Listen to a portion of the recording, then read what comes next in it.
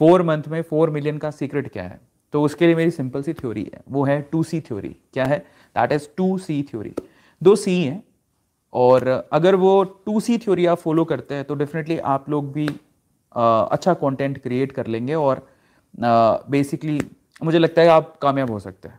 मुझे मेरा ऐसा पर्सनल बिलीव है क्योंकि मैं यूट्यूब पे ऑलमोस्ट मुझे आज आ, लगता है कि छः सात साल से हो गए। छः सात साल से मैं एक्टिव बहुत ज़्यादा एक्टिव हूँ। 2014 के बाद से 2021 है ना तो सात साल मुझे हो गए। सात साल से मैं ये काम कर रहा हूँ यूट्यूब वाला।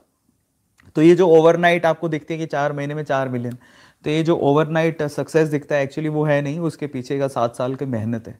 और सात साल की मेहनत में मैंने समझा कि यूट्यूब कैसे काम करता है हमें किस चीज़ की रिक्वायरमेंट है हमें क्या करना चाहिए। तो मैं आपको बताता हूँ there is there are in fact two नहीं थ्री सी हैं।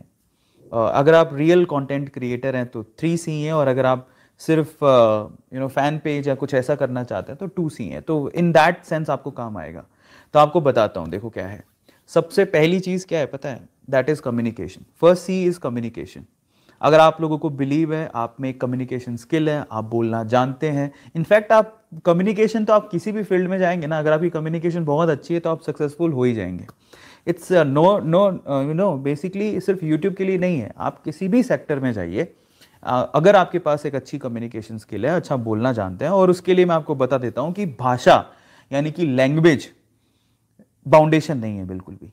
मैं आपको बता देता हूँ कि आप किसी भी भाषा में अपनी ऑडियंस बना सकते हैं, अपनी फ़ैन फॉलोइंग नंबर टू अब वो स्पेसिफिकली नंबर टू आपके सोशल मीडिया प्लेटफॉर्म के लिए स्पेशली यूट्यूब के लिए and that is content number two is content content is very much important again that is second C तो content content is very much important आप क्या करना चाहते हैं उसके सो वीडियोस के आपके पास प्लानिंग होनी चाहिए।